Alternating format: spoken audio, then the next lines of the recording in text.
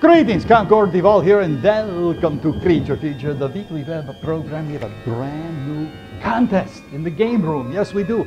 And we're giving away this wonderful prize. This is uh, The Adventures of Luana Lee, which, by the way, you can see by the cover, uh, stars yours truly, along with stalwarts um, George Stover and the beautiful uh, Leanna Chamish. So that's going to be our prize for this contest. Uh, you can enter in the game room. What else we got? We got the movie The Shriek in the Night. It stars, believe it or not, Ginger Rogers. No Fred Astaire. Lyle Talbot instead, who's, by the way, no relation to Larry Talbot, who turns into a werewolf. Okay.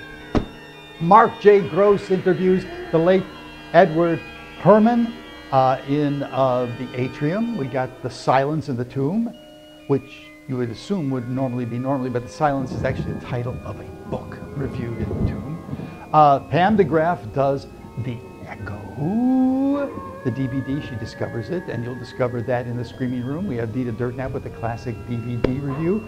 Phantasmagoria, which is a video game. Faith has that in the playroom.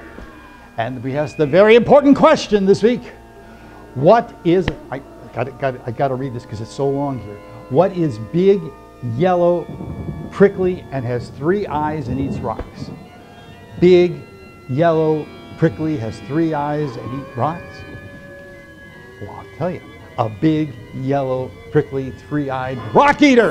There you go. That's the answer. You're I'm unimpressed. Let's go on with the rest of the show.